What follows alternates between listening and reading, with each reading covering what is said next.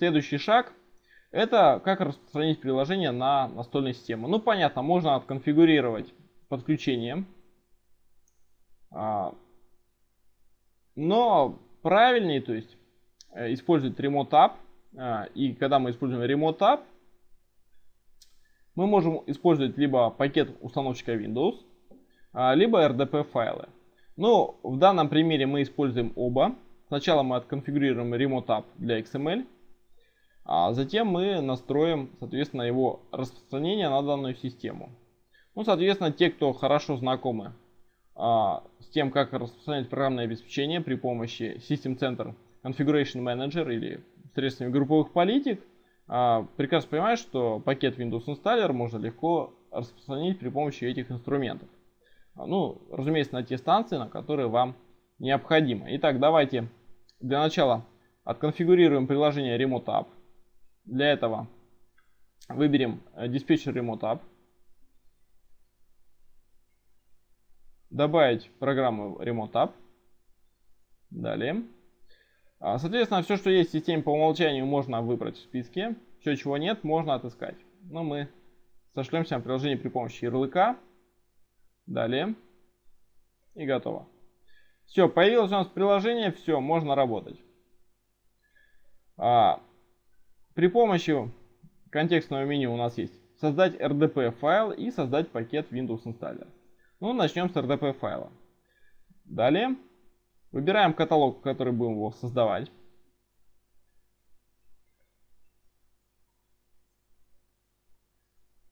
Соответственно, если бы у нас отличался порт, например, был бы другой сервер, мы использовали бы шлюз служб терминалов или а, подпись сертификата, это все можно было бы здесь сразу отконфигурировать, так как нам это не, а, необходимости в этом нет, поэтому далее и готово.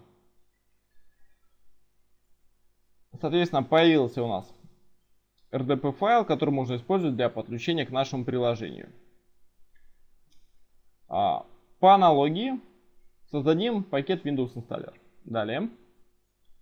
Выбираем каталог, в который мы его положим. Это будет также deploy. Соответственно, и все настройки по аналогии с предыдущим а, проходом, когда мы создавали RDP файл, мы оставим по умолчанию. Далее. А, но здесь есть такой момент, как, например, расположение ярлыков. Это в меню пуск а, под каталоге Remote Programs и на рабочем столе. Ну и можно ассоциировать файловое расширение э, с нашей программой Remote App. В данном случае мы этого использовать не будем. А, далее проверяем, что мы все выбрали, все, что нам необходимо, и готово. Все, появился пакет установщика Windows. Теперь а, воспользуемся нашим FTP сервером для того, чтобы передать файлы на клиентскую систему.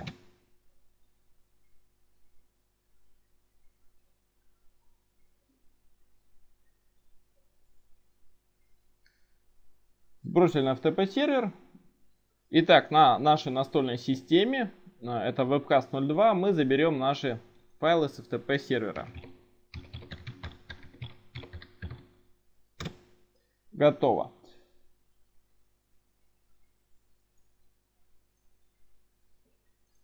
Итак, а, при помощи RDP файла, либо при помощи пакета установщика Windows Installer, а, ну мы начнем с RDP файла.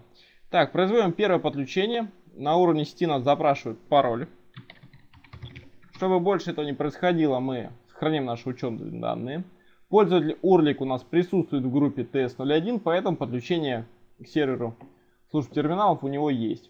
Окей. Происходит подключение.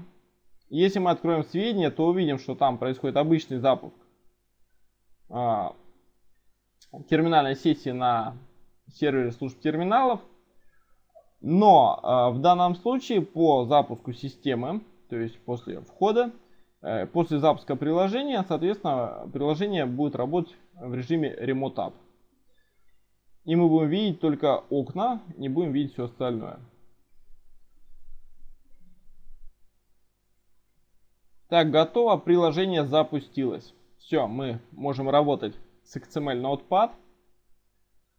А, то есть, единственное, что его сейчас отличает от того, что а, находились бы мы здесь или а, находились. То есть, как отличить, где находится это приложение, когда мы выбираем Save As, мы оказываемся на сервере. Но в папке компьютер по умолчанию у нас монтируются наши диски с нашей системы, в том числе AC и D, то есть системный диск, мы можем с ним работать. А, итак, здесь, я думаю, все просто. А, на TS01 мы можем это все проверить. Мы видим, что у нас есть подключение RDP TCP. А, пользователя URLIC, оно сейчас активно.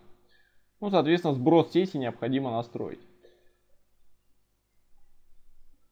Так, что касается пакета установщика Windows, здесь все намного интереснее. Производим установку.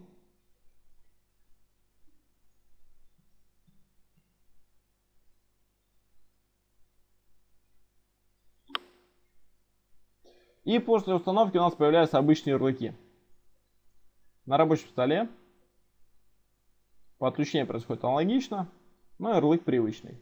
Соответственно, пользователям не нужно знать, э, где находится приложение, им нужно, чтобы приложение работало. Соответственно, вы распространяете его при помощи Remote App и все замечательно. По аналогии в меню пуск в Remote Programs появляется ярлык Remote App. Ну, ярлык на XML Notepad, который является Remote App. А, вот таким вот образом.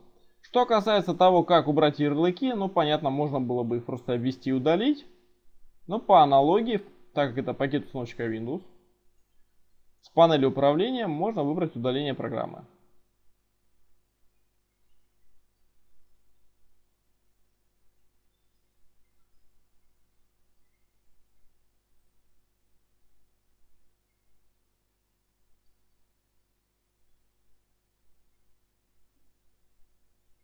Вот таким вот образом, соответственно, можно работать а, с Remote App. После удаления и каталог Remote App исчезает, так как больше ничего не осталось. А, можно распространять несколько приложений с одного сервера. А, что касается нашего вебкаста, на этом все. А, я думаю, все довольно просто, все понятно. Если есть какие-то пожелания или вопросы, пожалуйста, присылайте их мне на электронный адрес. Если вас интересует больше видео по информационным технологиям, заходите ко мне на сайт. Ну и все новости одной строкой, а также мои публикации и переводы можно найти у меня в блоге на lebedevum.blogspot.com. На этом все. Спасибо за внимание. Будьте здоровы.